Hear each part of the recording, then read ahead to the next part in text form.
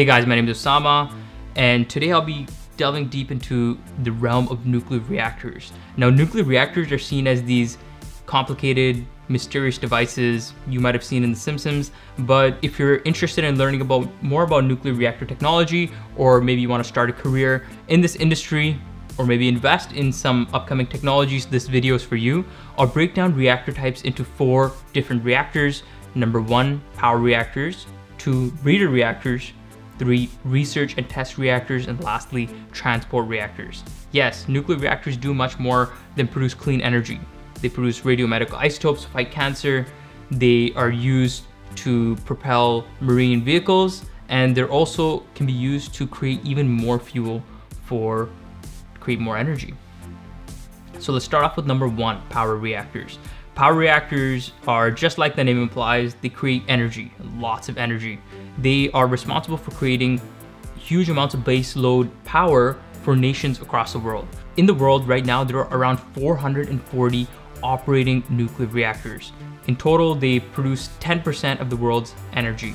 Now, this number is projected to rise to around 900 operating nuclear reactors by around 2050.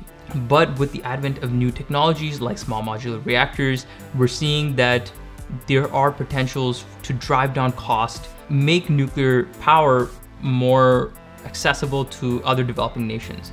Okay, what are the advantages of nuclear power reactors? Zero greenhouse gas emissions during generation of electricity. Also, they take up less land, okay, so reduced environmental footprint, and many, many more benefits, which I will discuss in my other videos. Now let's go into breeder reactors. Number two are breeder reactors. Breeder reactors are also a type of reactors which produce electricity, so they are power reactors as well, but they're different in a sense where they produce more fuel. So they actually produce fuel as they operate. To give you an understanding of how breeder reactors work, I'll have to give you an idea of how nuclear fuel works. So in terms of radio radioactive isotopes, there are two categories. One are fission fissionable isotopes, and second are fertile isotopes. In nature, naturally, the fission isotopes are very, very rare. So U-235, which is a fission isotope, only makes up 0.7% of the world's uranium. Okay, it's a very, very small, small percentage.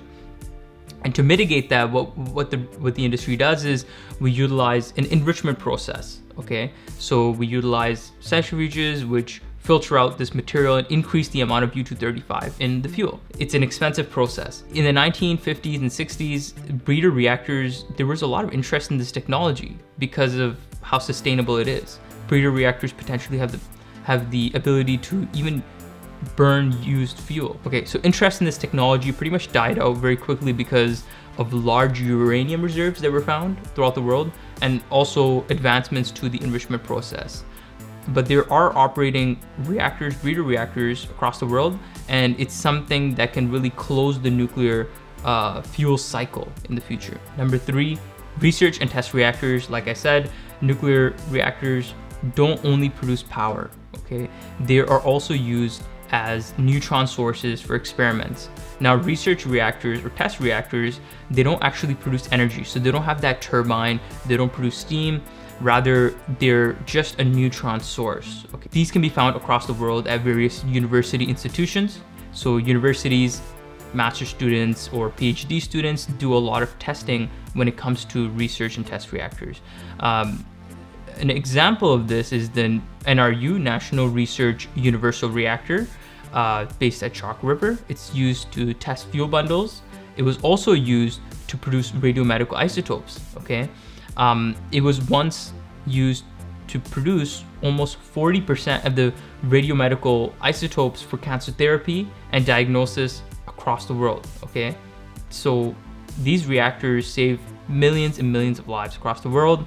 Uh, some of these medical isotopes that they produce are cobalt-60. Cobalt-60 used, is used for cancer therapy and cancer diagnosis, and also molybdenum-99, moly-99. Power, some power reactors are also used to produce radiomedical isotopes, such as the CANDU Canadian Deuterium Nuclear Reactor. Number four, transport reactors.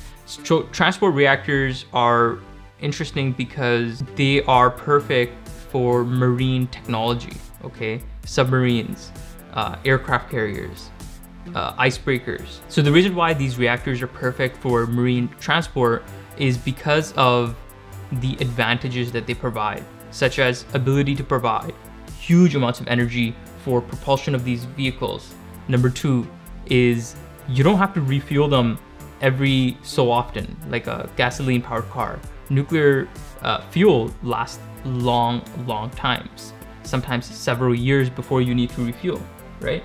Um, what's different about these reactors is that instead of using 4 to 5% enrichment of fuel, which is used in conventional nuclear reactors, power reactors, vehicles, these transport technologies use a very high level of enrichment, around 80% or above. And they are also the first examples of SMRs, small modular reactors, factory built reactors which drive down costs and allow for a simplistic design. Uh, this is a technology which is actually being explored across the world. For example, implementation in off-grid communities, rural Arctic communities, or simply even being used in cities. So there you have it. Those are the four types of nuclear reactors and they are power reactors, breeder reactors, research and test reactors, and lastly, transport reactors. Hope you enjoyed this video. Till next time, thank you.